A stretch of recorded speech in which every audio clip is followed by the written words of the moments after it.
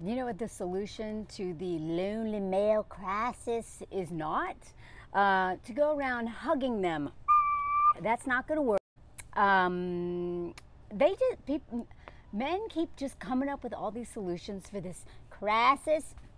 I'm not denying that there's a crisis. I am denying the fact, uh, I'm making fun of the fact that we are supposed to call this a crisis um, and that women are supposed to solve it, first of all. But also, um, you don't think it's lonely for women who um, are in marriages and relationships with men who are uh, don't see them as human beings and literally just see them as an extension of themselves um, and they just project everything onto them and they treat them like a pet. If you didn't see my story about that man who literally projected on a, onto a chicken the way some of these men project onto us. Um, so that's lonely. Uh, women are having a loneliness crisis too. It's just not the same because we actually have been doing the work of of um, making friends and building community so that we have something to fall back on other than this idea of romantic love. But what I, I just it's it's not that men should not be talking about this. It's just that I really wish we would stop listening to men who don't understand how patriarchy is involved in all this and they, they get so close. They get so close. And then they always fail because they don't understand patriarchy. So I want to show you what I saw on um, Twitter today. Because here's the thing I used to listen to men too. And again, it's not that I don't listen to men, but I'm very, um, but I'm always going to ask are they, are they putting this through the lens of patriarchy when they're talking about um, clearly a, a thing that is a result of patriarchy, among other things, capitalism, white supremacy culture, all of the, the, the, the, systems that are all, you know, they're all tied together, right? Uh, homophobia, that's another problem, especially in the United States. Men are so lonely because their misogyny is tied to their anti, uh, their, their uh, transphobia, the homophobia, and all that stuff. They would have a lot more friends if they weren't so afraid of being called gay.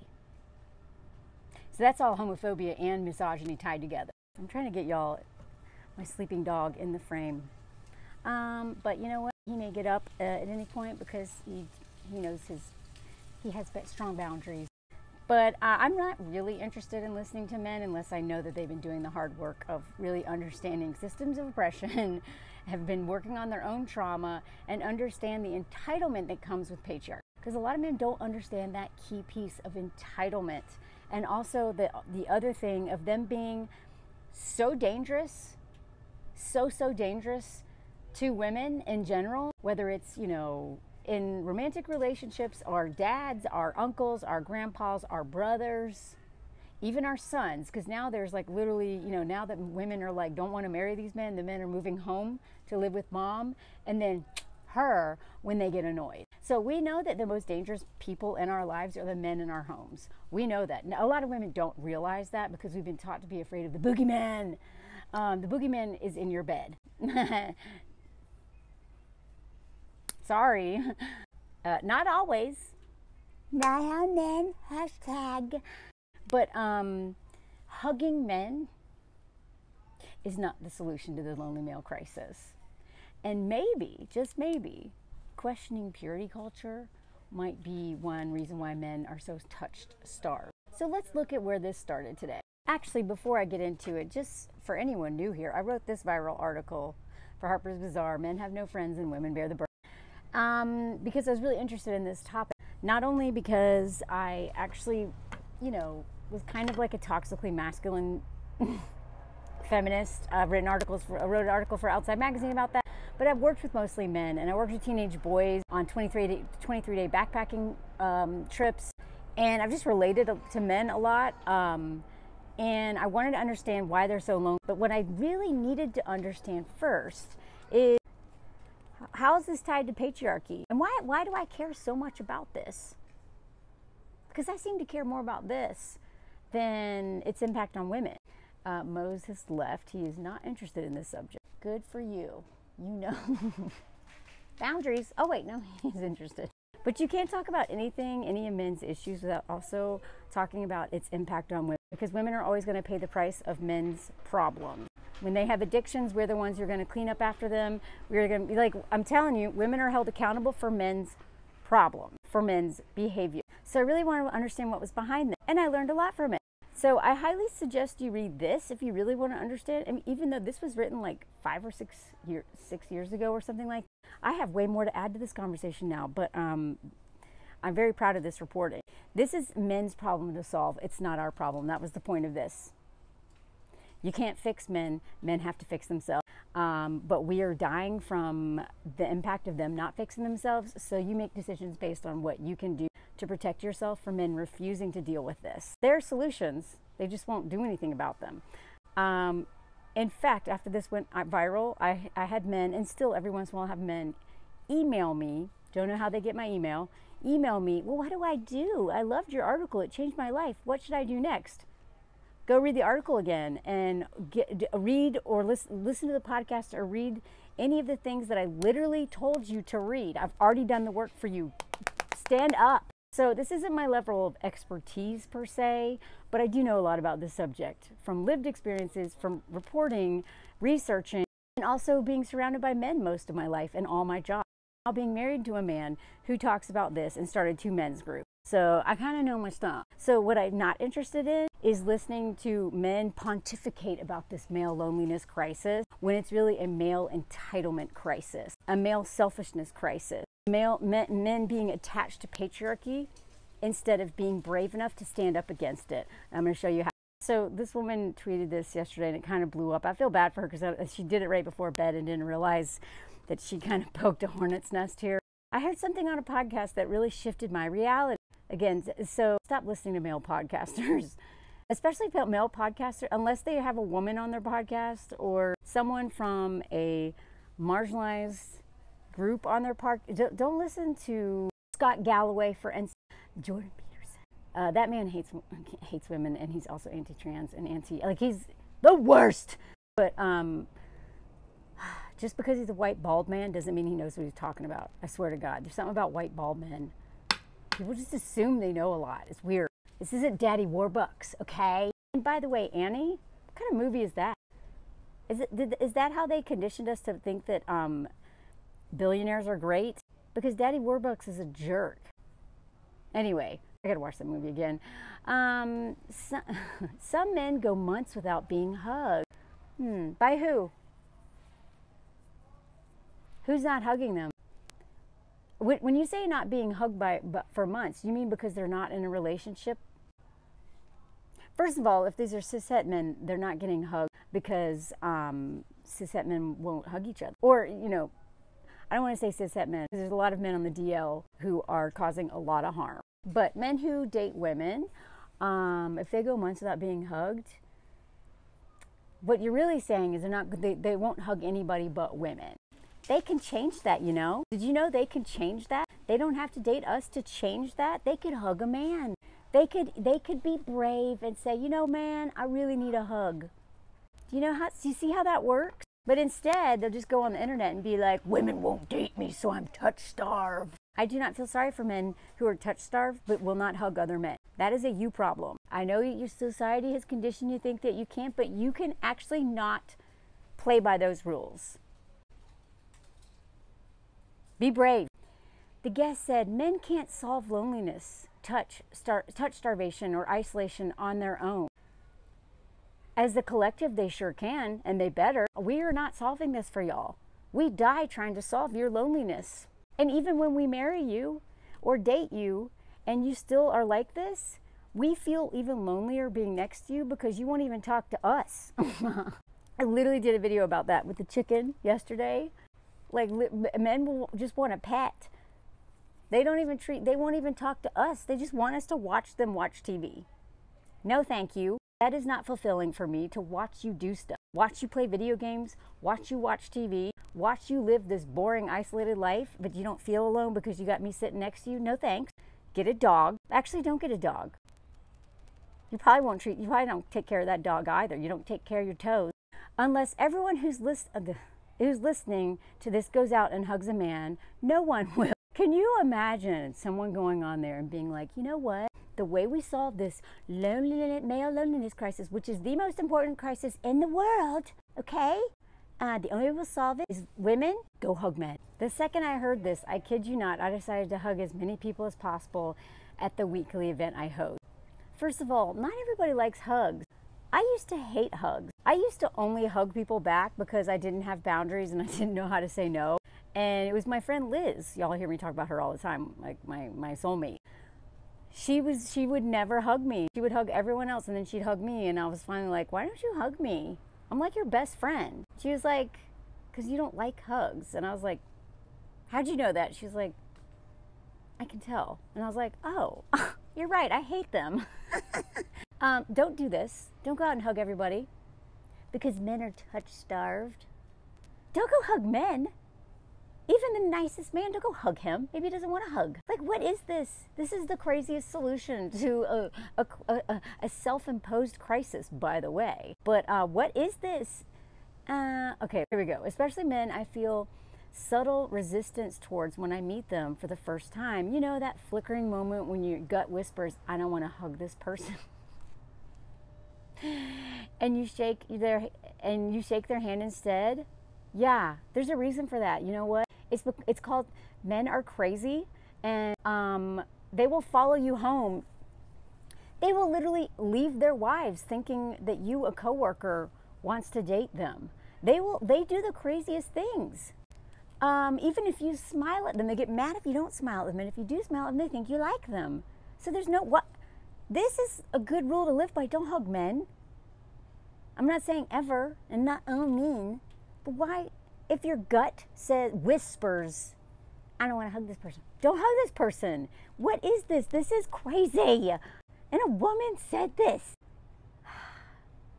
Or avoid contact entirely honey, this this whatever this whisper is probably what kept you alive so far. Uh-huh. It's not the oh no, you better start hugging people your gut tells you not to because men are in a loneliness crisis. The same way Scott Galloway wants us to go date these men because that Scott Galloway and Jordan Peterson both think that women should go marry men because men are violent. So us marrying them is supposed to make them not violent? No, they are literally going to be violent towards us. I'm sorry. I'm not, I'm not, I'm, we are not your sacrificial lambs. So this is, um, this, th- th- like, oh God, we stop listening to men.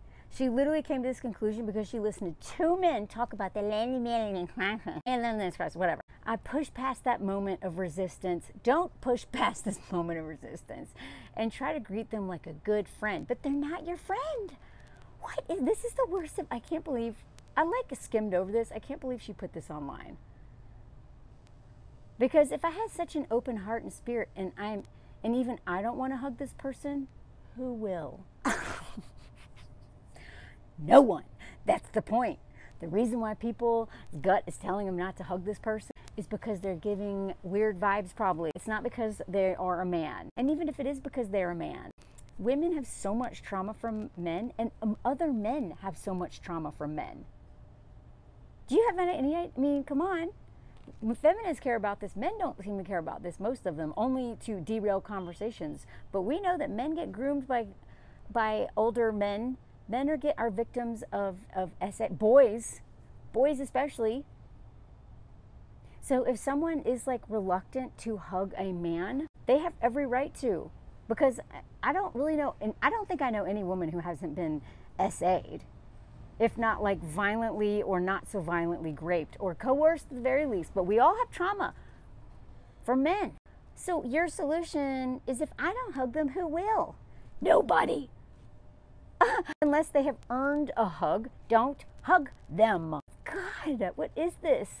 this is like this is this is like this is like um continuation of like a lot of gen xers will know what i'm talking about i know like i know that we've pushed back against this but for the longest time i grew up with that you just give all of your family members a hug even the creepiest ones even the ones that you're like ooh this man is like I can tell he's like undressing me with his eyes, this family member, but I gotta give him a hug because he's my family. We, we already know now that we don't do this anymore. We, we, we teach children to do to do physical affection because they want to, not because they have to, like especially girls. So this is this, you know, if no one else will hug them, then you should. You should, you should, you should. Shut that you should voice out, uh, up. Not many good things happen from you should do this or that because that's just patriarchy working real hard. I'll never know if I'm making a difference with this small second long, seconds long suggestion, but I can rest easier knowing that the men in my space don't go months without a hug, which seriously made me tear up when I first heard it. Okay, let me tell you something going out and hugging every man you know, every man you see because he deserves a hug is not going to keep them from graping us. if anything, it's going to make them worse. Cutting the cutting off the source. Cutting the vampires off from their source of blood. Cutting them off. This is not ours to give anymore. If they want affection that is healthy, that is consensual, that is trusting, maybe they should start with their friends. We're not giving it to them, especially men that we don't even know, especially men that we're not friends with or close to. Do not hug these men. We talk a lot about the, I, I just, seeing patriarchy indoctrination in real time, trying to be empathetic towards men, but literally centering men. This is why we got to decenter men. It's fascinating. I, I, I used to think this way too. That's what I'm talking about. The longest time, I was like, gosh, this really is a hard world for men. And I'm not saying it's not. Patriarchy dehumanizes them, absolutely. Patriarchy is destroying men too, clearly. But you, I will never center them as the, the biggest victims of patriarchy, the same way we should never center white people as the biggest uh, victims of white supremacy culture. It makes us dead inside. It makes us um, go against our moral compass. It makes us do things that hate ourselves. It cuts us off from real connection from other human beings, from community, from so many amazing things. It really doesn't benefit us other than power and money. But we are not we are not the victims. The big the biggest victims, the main victim. We are never so I'm sorry, but men, I mean, women die at the hands of men and live in constant fear of men and are controlled by men and don't you can't even you know like don't even have rights to their own body because of men. I'm sorry they're lonely? That sucks.